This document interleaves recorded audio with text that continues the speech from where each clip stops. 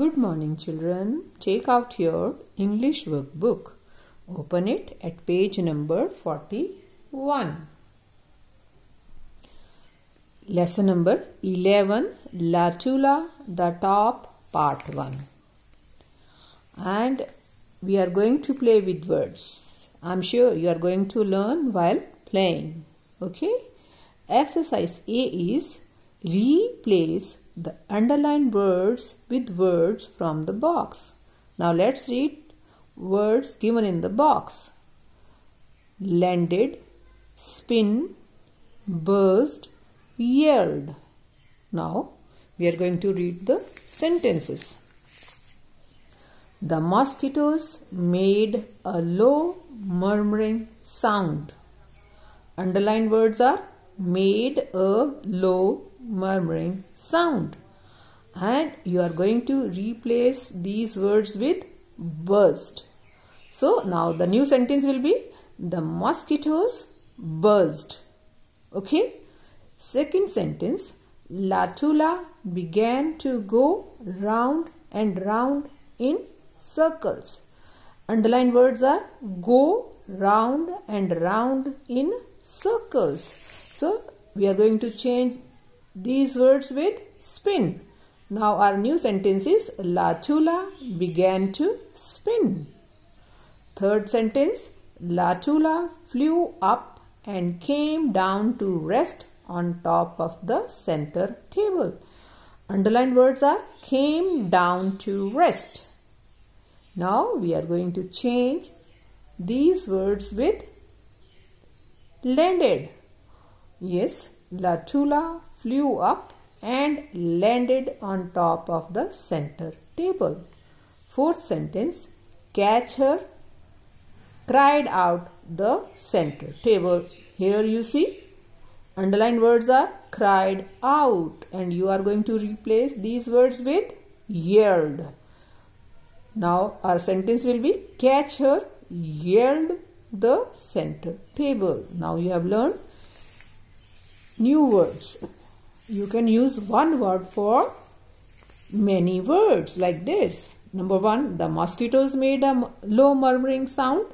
You can write just three words in this sentence. The mosquitoes buzz. They are same. Number two, Latula began to go round and round in circles. And new sentence is just simple. Latula began to spin. Then number 3 Latula flew up and came down to rest on top of the center table. Instead of these words, we will use only one word. Latula flew up and landed on top of the center table. Number 4. Catcher cried out the center table. Instead of these two words, we will use only one word. Yelled. It means the same. Catcher yelled the center table. Okay. Now you see exercise B. Fill in the blanks. Choose words from the box. Now read the words given in the box. Sun, owl, coal, cucumber. First sentence is as cool as a. Now you can see the picture. It's cucumber. So write cucumber. Number two, as black as this is the picture of coal, write coal. Number three, as wise as and this is the picture of owl. So write owl. As yellow as the sun. write sun. Children, these are called similes. Okay. Cucumber is considered as cool during hot summer days we used to eat cucumber to keep us cool okay so when we compare something cool we use this simile as cool as a cucumber.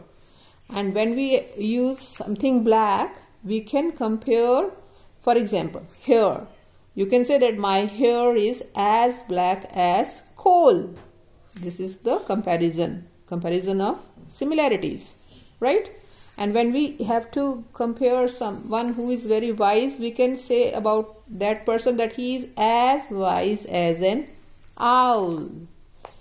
And when we have to compare something yellow we can say that gold metal is as yellow as the sun.